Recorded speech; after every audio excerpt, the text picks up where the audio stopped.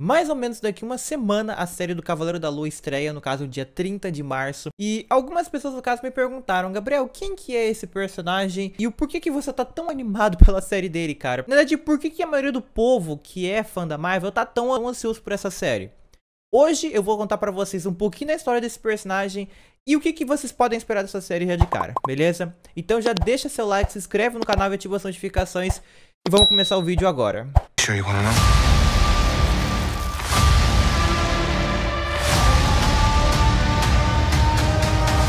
Mark? Sempre que você vai tentar desenhar um anime, você sempre fica cansado de que você não consegue fazer o um negócio sem parecer que você tava na montanha russa o tempo inteiro quando você desenhava. Eu tenho pra vocês então uma oportunidade de ouro pra vocês agora, beleza? O curso Desenhando Animes, ele tá totalmente disponível agora pra você dar uma conferida. Nesse curso você aprende o método clone, tá bom? Que é um método, na verdade, que vai te ensinar uma nova forma de enxergar o desenho. Ele pode até parecer simples de primeira mão e você vai aprender até rápido, mas na realidade, esse é um dos métodos mais poderosos que vai realmente te ajudar a desenhar personagens avançados e cheios de detalhes. E sabe qual é a melhor parte?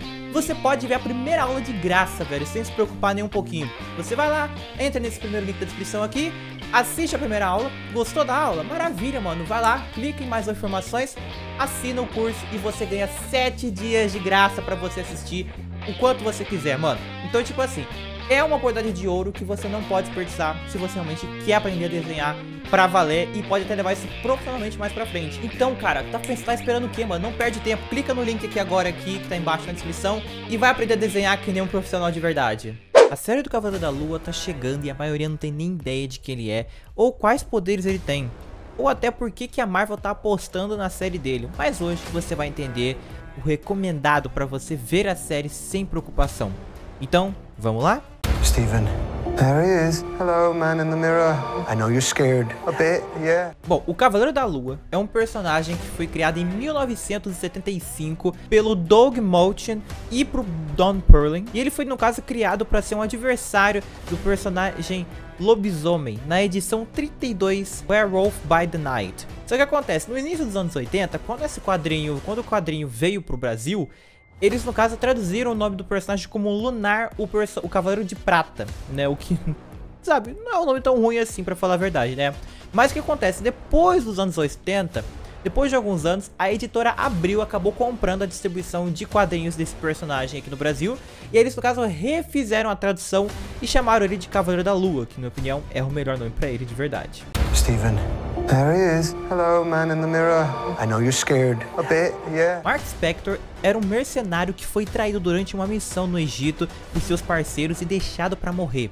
Mas antes que ele deixasse nosso plano, ele acabou no caso sendo levado por cultistas para um templo. E nesse templo era onde acontecia a adoração ao deus Khonshu, que é no caso o deus da lua pelos egípcios. E durante uma viagem meio mental e durante uma viagem mental, o próprio Mark Spector teve a oportunidade de falar com esse deus e ele obviamente ofereceu pro Mark a oportunidade de se vingar de quem tinha, no caso, traído ele. E obviamente tudo, tudo que o deus, no caso, pediu em troca também era que o Mark se tornasse a encarnação do personagem na Terra. E assim, ele acabou adotando o nome de Cavaleiro da Lua, para poder, no caso, combater o crime e trazer a justiça para as pessoas que mereciam.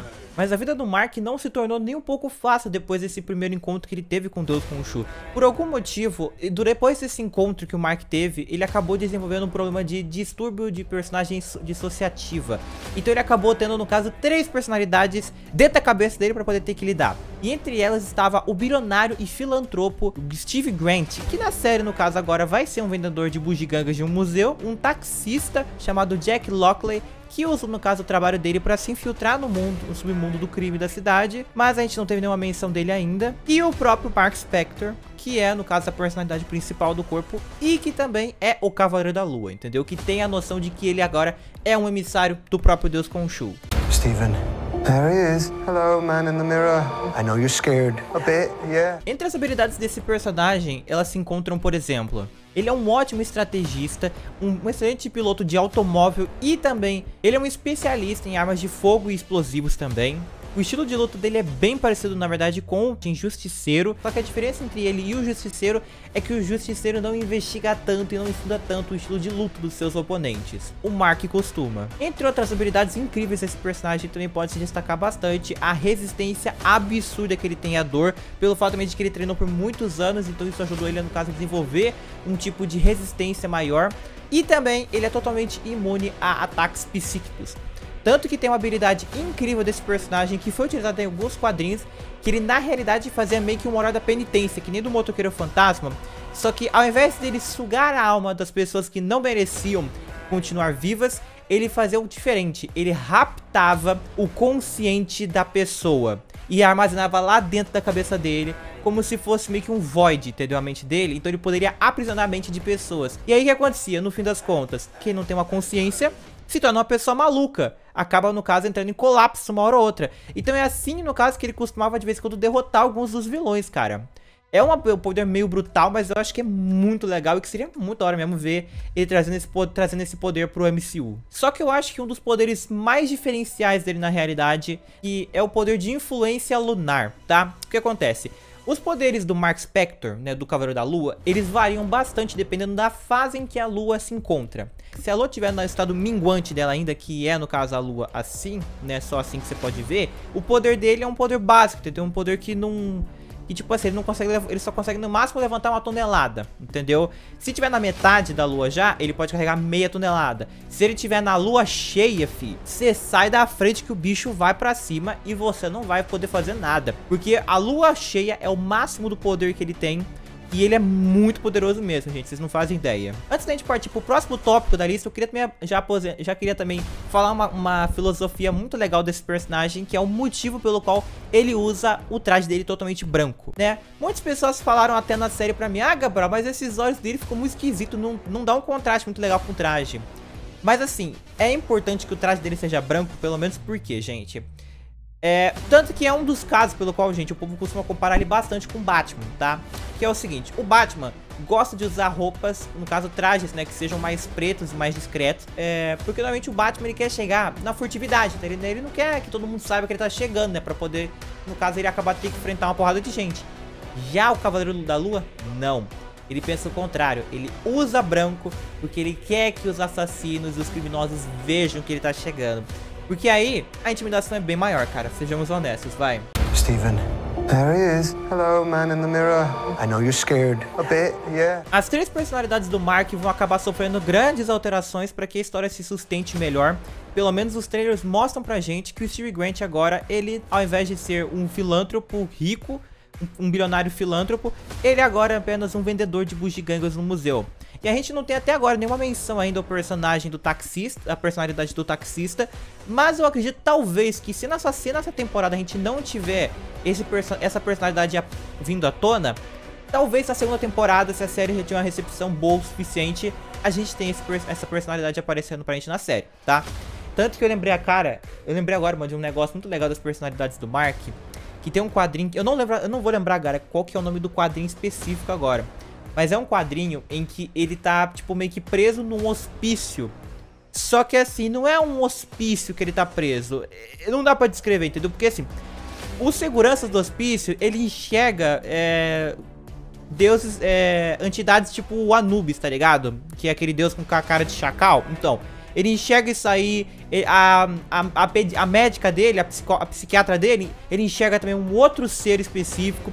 Então, assim, é muito legal, porque aquele quadrinho lá, você não sabe se a gente tá enxergando, se o Mark tá enxergando realmente a realidade ou se, tá ou se é tudo da cabeça dele. Entendeu?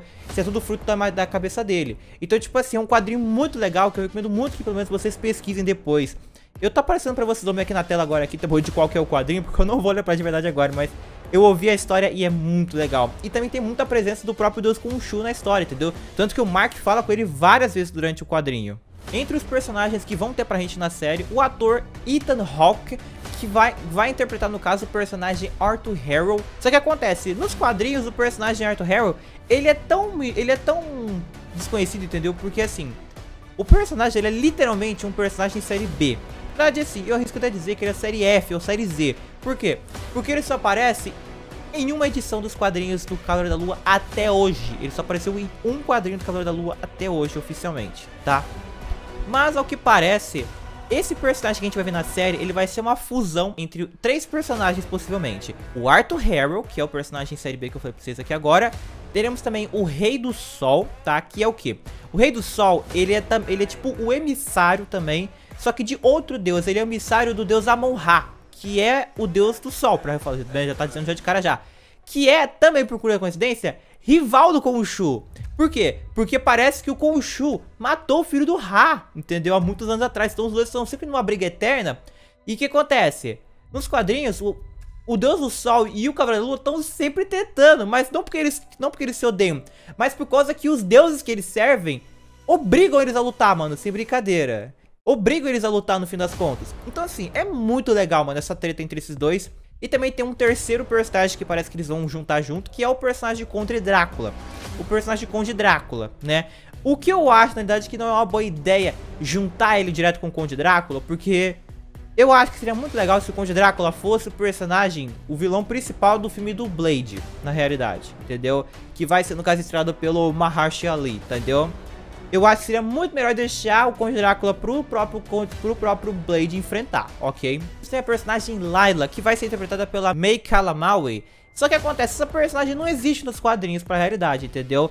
Ela é basicamente uma personagem que foi criada pra série e eu não, não dá pra não tá explicado pra gente ainda direito se ela vai ser, no caso, o interesse amoroso do personagem, ou se vai ser, no caso, mesmo como se fosse meio que só uma guia pra ele, entendeu? E pra gente, espectadores.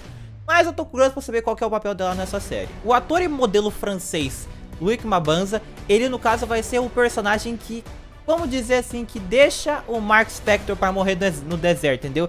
Ele é um dos caras que tava junto na expedição com o Mark Spector e que foi, no caso, ordenado para ele que, no caso, alvejasse, entendeu? O Mark deixasse para morrer no deserto lá porque não era mais importante pro, pra, pro resto da jornada.